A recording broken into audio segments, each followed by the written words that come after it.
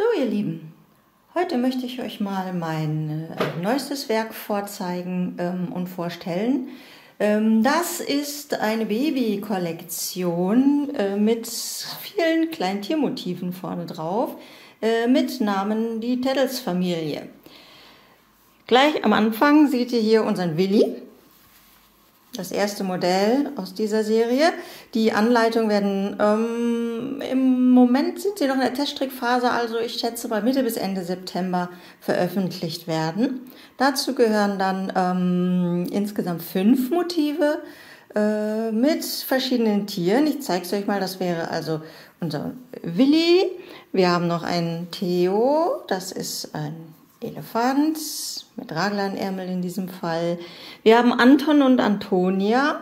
Das ist Antonia, wie man unschwer an den Farben erkennen kann. Die ist unten leicht, kann man jetzt schlecht, vielleicht schlecht sehen, aber die ist unten leicht ausgestellt, hat also so eine mädchenhafte Tunikaform. Das männliche Pendant dazu ist dann hier und der Anton, gerade neuest fertiggestellte Modell ist Manny der Bär. Der kommt hier aus einer kleinen Tasche raus, die hier mit dem Druckknopf festgemacht worden ist. Ähm, folgen soll noch eine kleine Maus. Ich hoffe, dass ich das noch schaffe, dass wir die in die Kollektion mit aufnehmen können. Ähm, was ich euch heute zeigen will, ist, ähm, wie schaffe ich das eigentlich, diese ganzen Motive auf äh, diese Kinderpullover zu kriegen. Oder Erwachsenenpullover, wie immer man mag. Ähm, die Problematik besteht ja darin, dass man also ja eigentlich für jede Farbfläche in einer Reihe ein eigenes Knäuel benutzen müsste.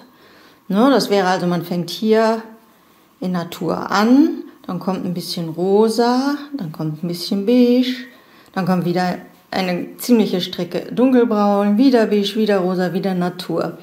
So, damit wir jetzt nicht endlos lange Spannfäden im Hintergrund haben, auf der Rückseite haben, müssten wir jetzt eigentlich für jedes Knäuel, äh, oder jede Farbfläche ein eigenes Knäuel verwenden.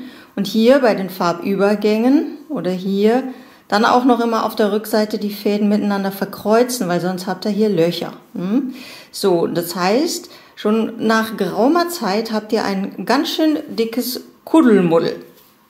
Um es nicht ganz so, ähm, so äh, streng zu haben, ähm, kann man jetzt natürlich hingehen und für die kleineren Farbflächen auch mini kleine Knäuel wickeln.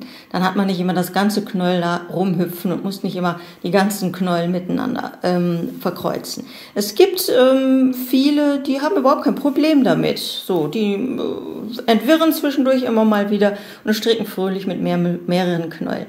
Mein Ding ist das so gar nicht.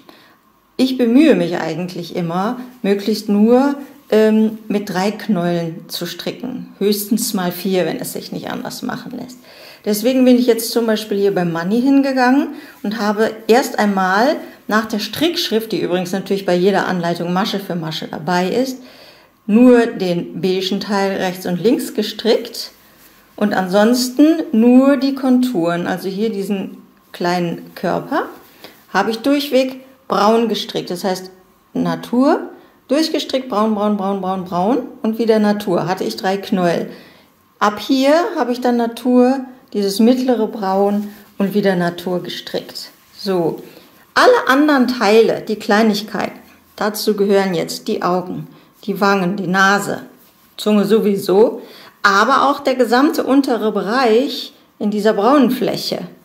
Den habe ich anschließend mit dem Maschenstich aufgestickt. Der ist ganz leicht zu machen. Das macht sogar Spaß. Es ist mal was anderes, mit Nadel und Faden umzugehen, als immer nur mit den Stricknadeln. Ähm, es ist durch die ähm, Strickvorlage, die ihr habt, ganz genau nachzuvollziehen, was wohin gehört. Und vor allen Dingen, ihr habt dieses, dieses Geknuddel nicht. Ne?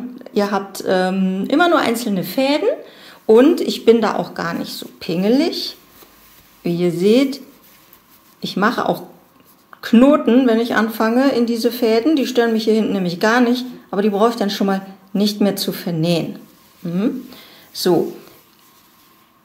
Das heißt, hier bei diesem Money braucht ihr eigentlich nur den Maschenstich zu lernen, den ich euch gleich auch zeigen werde. und könnt den relativ ohne Fadengewirr fertigstellen. Das ist sogar, ich bin beim Aufsticken sehr viel schneller als beim Entwirren der ganzen vielen kleinen Knäuel. Wo das besonders auffällt, gucken wir jetzt hier einfach mal, nehmen wir hier uns jetzt mal hier zum Beispiel den Theo vor. Da sind sehr viel mehr kleine Farbflächen. Das ist also für mich einfach unglaublich schlecht zu machen. Beim äh, Theo seht ihr jetzt noch was anderes. Nämlich hier ist noch eine Kontur aufgestickt, so rund um den Rüssel, damit man hier die Übergänge sieht, damit das nicht so ganz so flach aussieht. Oder aber auch hier bei unserem Theo das Auge und hier der schmale Mund. Das kann man dann nicht mehr mit dem Maschenstich machen. Ne? Da braucht man eine, einen, einen Bogen, der ist nicht so, äh, so mit, leicht mit Maschenstichen zu machen. Da habe ich den Stielstich verwendet. Der ist auch ganz einfach eine der Standard-Stickstiche, ähm, die es eben so gibt. Mit denen kann man wunderbar ähm, hier diese Konturen aufsticken. Das zeige ich euch auch, wie das geht, so dass ihr anschließend hingehen könnt, hier bei diesem Willi auch. Ihr macht einfach nur rechts und links ein Knöll blau und in der Mitte ein Knöll grün, strickt einfach hin und her, das ist leicht zu machen und der Rest kommt anschließend drauf. Hier unten ist es vielleicht äh, doch praktischer, weil es eben so viele kleine sind.